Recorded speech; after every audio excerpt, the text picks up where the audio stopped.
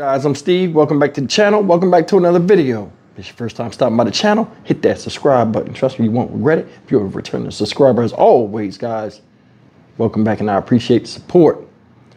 If you haven't subscribed to the uh, true crime channel I just started, Sinister Intent, by all means, go over there, show your support, and uh, subscribe. Videos are up, and uh, I promise they won't disappoint you. But uh, I want to talk about something that we've been talking about for the past year and we'll continue to talk about till justice is served, the Tyre Nichols case. We are in day four, ladies and gentlemen, and it is buck wild. Now, I've been covering this story on YouTube for the past year, ever since the video came out. We've been pushing it, pushing it, pushing for justice for Tyre, all this other stuff. I went down there first day of the trial, stayed, and uh, man, all this craziness is coming out now. And I told you before, these people acted like common thugs when they attacked and killed Tyre Nichols. And you're seeing it in court with the way they're trying to defend themselves. Guys, I got some news to drop on y'all. I'm not going to tell you. You'll see it in this uh, uh, news article. Pay specific attention to what the legal analyst says when they bring him on the show. It's everything I was telling y'all was going to happen It's starting to happen with a surprise. Justin Smith, Officer Justin Smith, the one that was hopping along, acting like he had his knee was hurt, and when they got in trouble and was getting fired and got arrested, he pleaded his case. Oh, I was supposed to be on PTO. My knee was hurt. I was called into work. I wasn't even supposed to work that night. Scrambling. Get him. Get him. Check this out. Today, the Memphis police lieutenant who trained the officers charged in the death of Tyre Nichols told the jury that not only did they not follow protocol while trying to handcuff him, but that the other officer should have intervened. NBC's Marissa Parra is following this and also with me, former federal prosecutor and MSNBC legal analyst Paul Butler. So what's the latest we're hearing out of court, Marissa? Hey, Chris. So you mentioned that we heard from this Memphis police lieutenant, Lieutenant Bright. Uh, this is a lieutenant who has been in law enforcement for almost 20 years.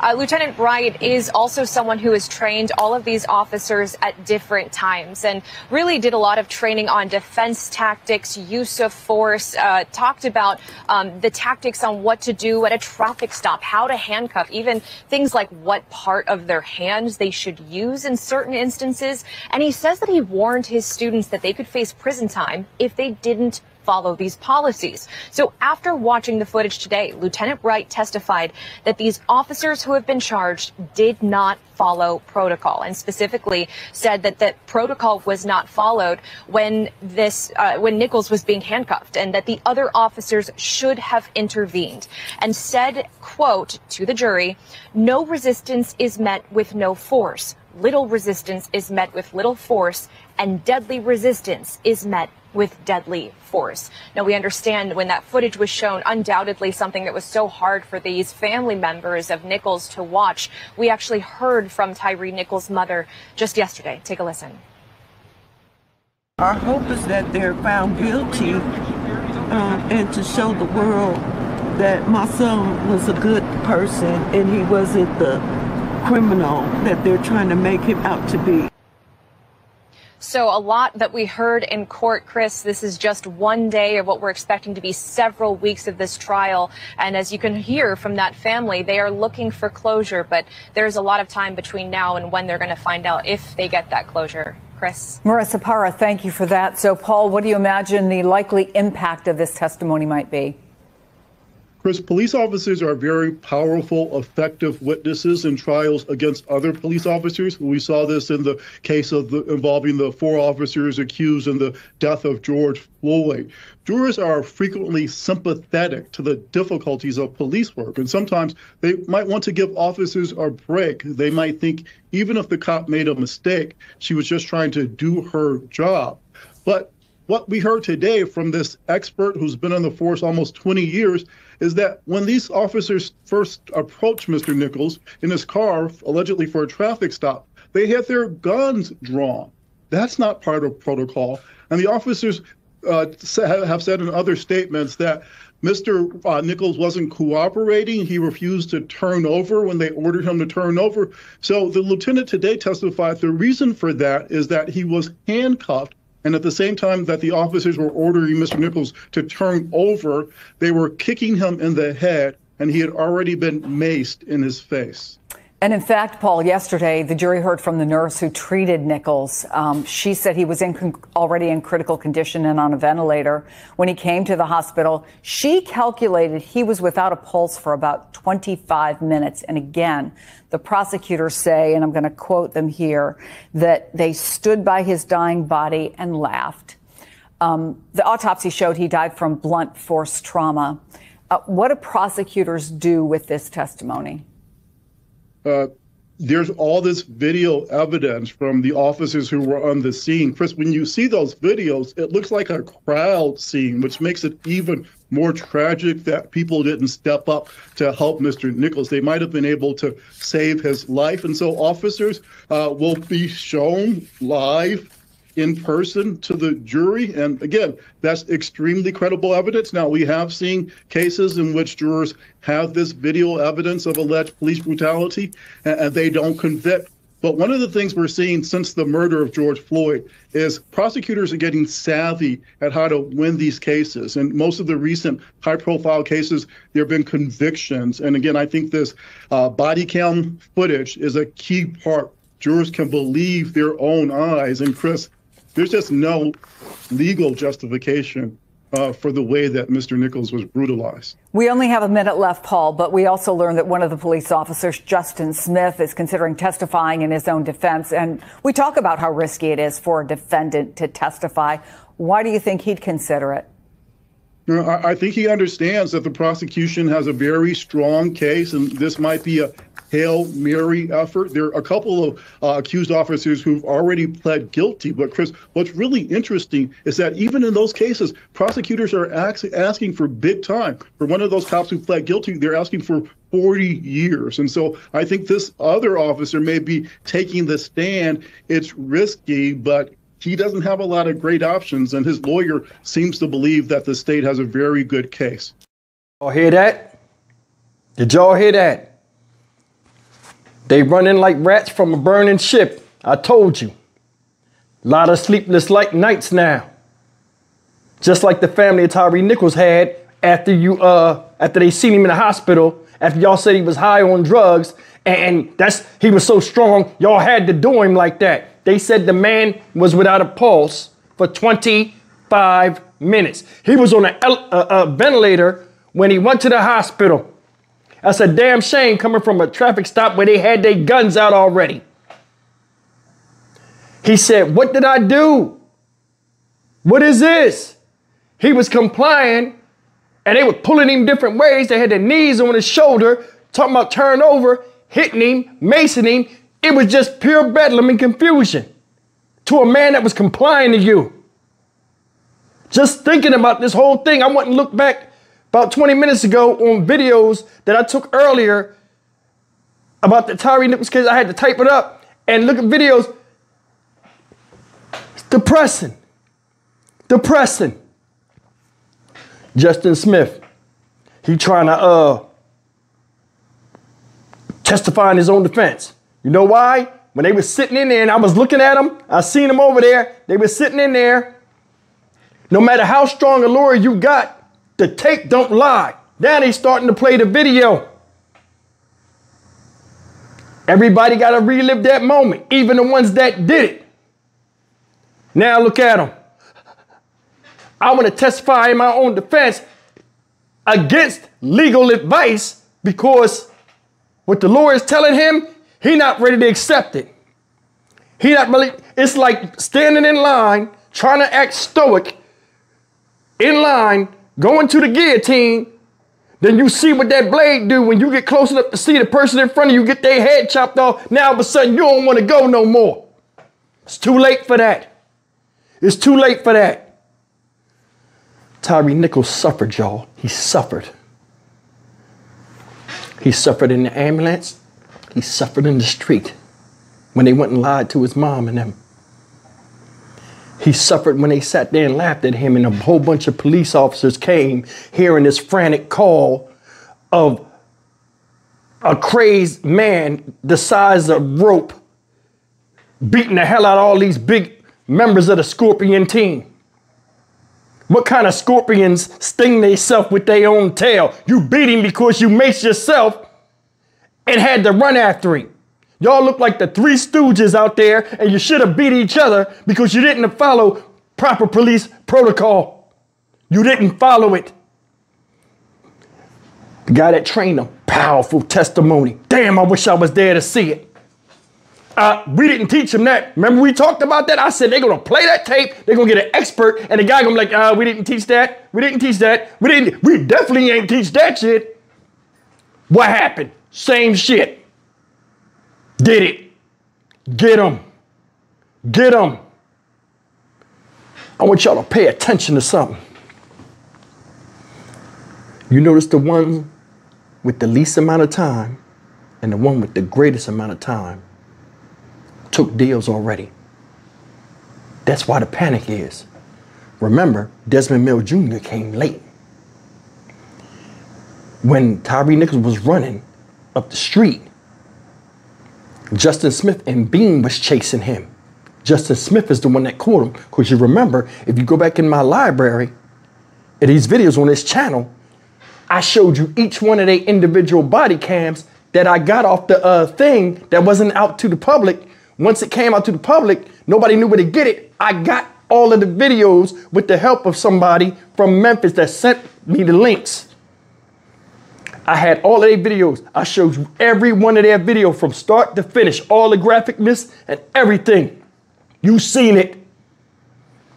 He chased them down, courting. Some of them claim they ain't hit him. Well, Emmitt Martin's body cam shows Justin Smith and Tadarrius Bean hitting them. Now what you got to say? They played Desmond Mills Jr. when he trailed the ambulance and his police car to the, on the way to the hospital. And that's another thing I want you guys to notice. They wasn't speeding on the way to the hospital like it was an emergency with Tyre Nichols in the car. Said he was out without uh, a pulse for 25 minutes. He was on the ground, basically gone.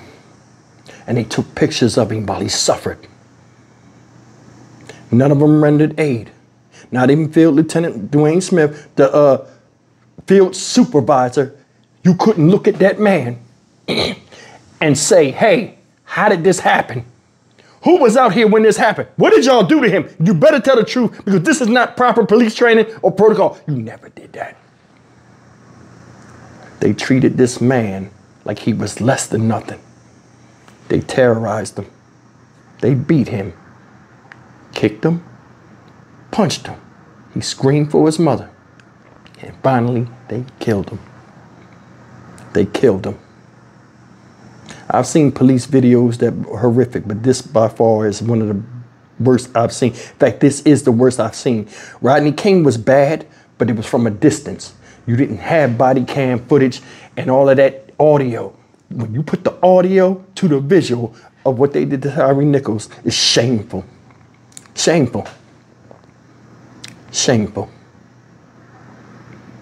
They're looking stupid. Haley already didn't distance himself. I mean, yeah, distance himself from them. So I want to see what comes out with his strategy because Justin Smith is about to crack and I'll love it. He's about to crack. Just like you cracked on Tyre Nichols, you about to crack. I told you before, we told, I said he looked like the weakest one. He looked like the weakest one. Desmond Mills Jr. took the deal first. I'll testify in, in, in anything the deal was he'll get no more than 15 years. In a surprise move three weeks ago, Emmitt Martin, the third, the one that did the most damage, because they said Tyre Nichols died from blunt force trauma. When did he get, receive the blunt force trauma? When he was stood up and held by Justin Smith and Tadarrius Bean when Emmitt Martin tried to knock his head off with all of those volleys from a man that's like 6'4, 260, an NFL tight end, punching a man that's prone and can't even put his hands up, already uh, tired and winded and maced. He couldn't see the blows coming. And you punched this man in the face. None of y'all act like y'all could handcuff him. He ran a mile. I took you guys, remember? I took you to the exact corner where he was beat.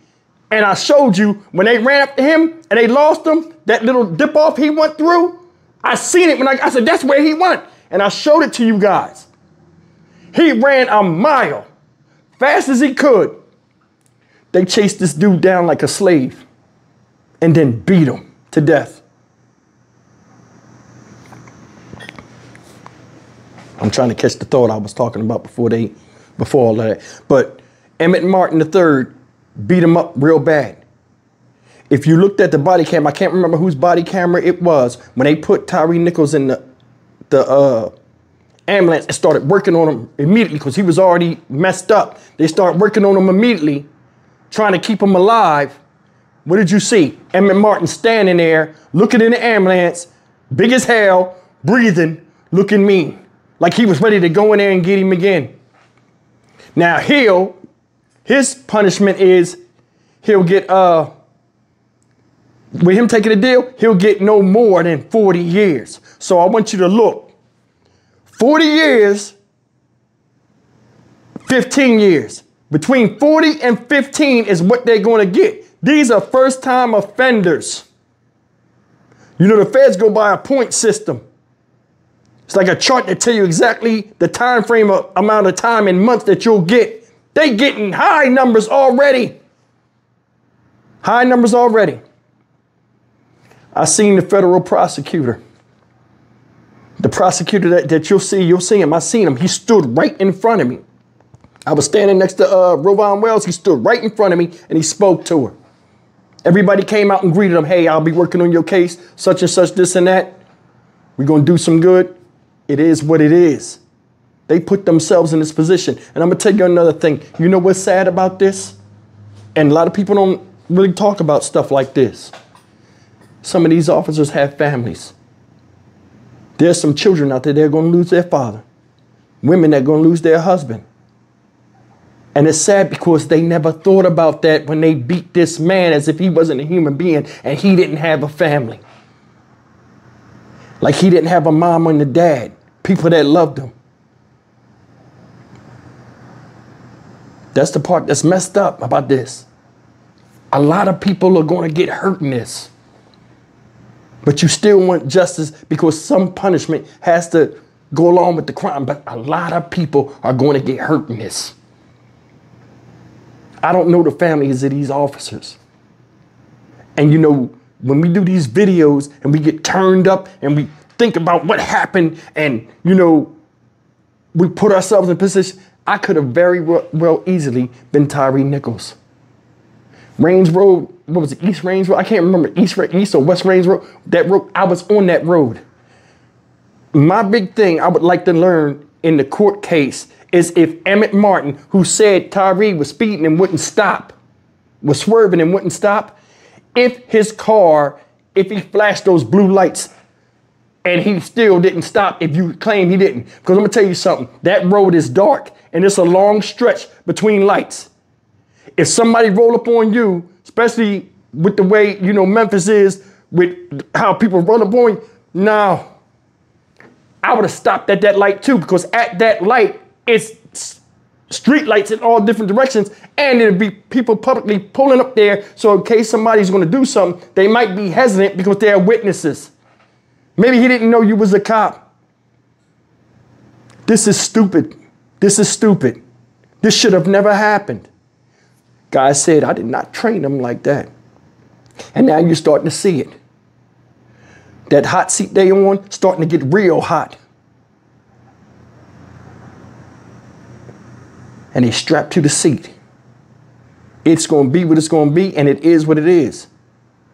You shouldn't have been put, your, put yourself in that position in the first place. You couldn't put handcuffs on them. That's the big thing. You couldn't put handcuffs on them.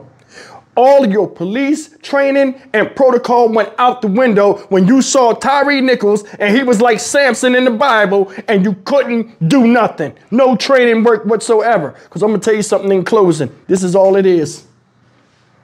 They talk to that man like common street, like common street thugs. They beat him like common street thugs. They should be treated like common street thugs. But Demetrius Haley said, and I quote, when he was talking, running his mouth at the end, talking about like it was a war story. He said, Oh man, he went for Martin's gun, Emmitt Martin III. He went for my gun. We said to ourselves, man, we're going to have to kill it. We said, oh Lord, we're going to have to kill this man. And you did. And you did. Congra- ah, congratulations for being a prophet in the future of your own fucking destruction. I know you watch my videos. Of course, I seen that look you gave me when we was in court. You'll get the chance to look at me again when I come down there, and I mean this. I don't care if I got to use my last red cent. When I come down there and look you in your face when they give you your time after reading that guilty verdict. I'm Stock Market Steve for the Dynamic Reason channel. As always, like, comment, share, and subscribe. Justice for Tyre. Let's get it.